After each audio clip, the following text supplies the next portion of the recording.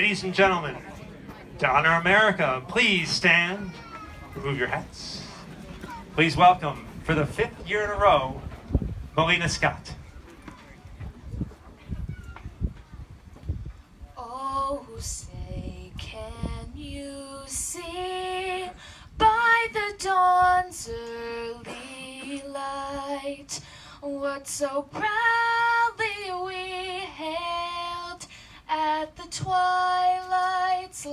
just gleaming, whose broad stripes and bright stars through the perilous fight, o'er the ramparts we watched were so gallant.